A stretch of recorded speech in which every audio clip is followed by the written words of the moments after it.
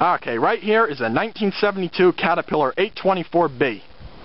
Now the 824 and the larger 834 were the first articulated steering rubber tire wheel dozers built by Caterpillar. Both dozers were also introduced at the same time in 1963. This was the answer to coal stockpiling and mine floor cleanup, which in most cases is where you will find a wheel dozer working is on a mining operation. The whole purpose of a wheel dozer is to push a great amount of material over a very long distance. The machine's large rubber tires give it more speed and versatility to push its load compared to a standard track dozer. Now I'm going to take and show you around a little bit. This 824 is used for backfilling. Its job is to push fly ash around, which is the reject from a cogeneration plant, to backfill a stripping pit with. This is all part of mine reclamation, and because the material that this dozer is pushing is very lightweight, the blade can be larger. This is a semi-U blade you see on this 824, which is much larger than the standard straight blade for this dozer. On each side of the dozer arms is a single cylinder which connects to the dozer blade and these cylinders are to push the dozer blade forward and back.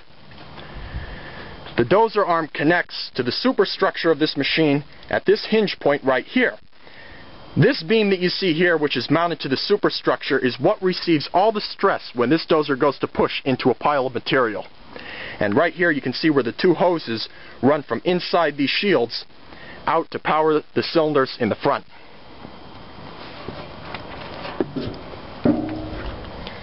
Now a wheel dozer basically follows in the design footsteps of a front end loader and because the design of this dozer is nothing like a crawler dozer the front of this dozer is very lightweight so for this reason the dozer needs suitcase weights installed in the front to put more weight on the front tires and keep the nose of this dozer down.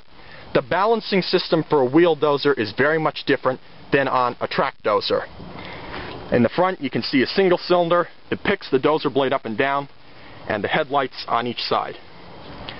Now I'll take you inside the cab. Here's the operator station on the 824.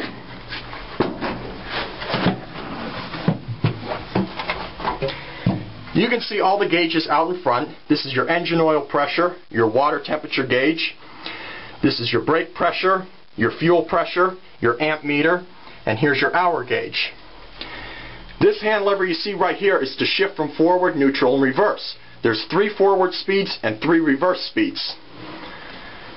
These two big hand levers you see over here on my right side are to work the dozer blade in the front. One to pick the blade up and down, and the other to curl the blade in and out. And there's an operator's view if we were running this dozer.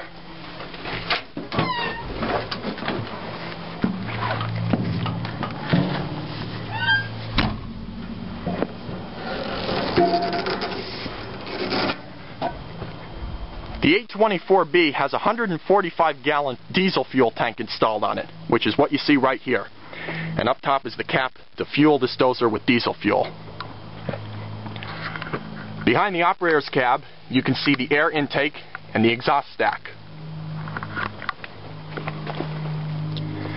The 824B is powered by a Caterpillar D343 diesel engine.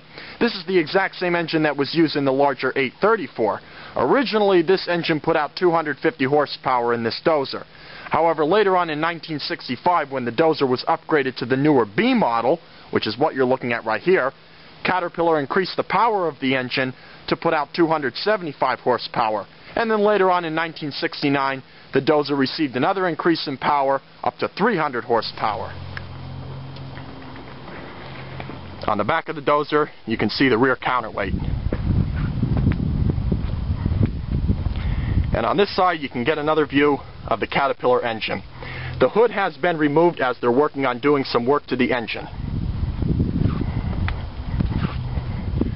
On the right hand side of the dozer is the hydraulic oil tank, which you can see right here. And right here you can see where the two sections of the dozer are pinned together and where the articulated steering is, one cylinder on each side to turn the dozer left or right.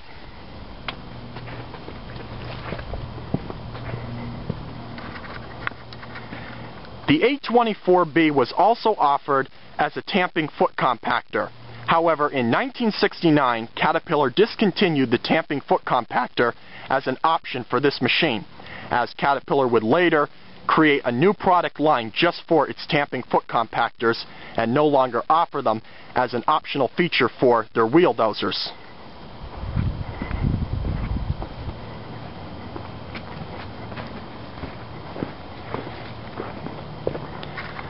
But there she is, a 1972 Caterpillar 824B.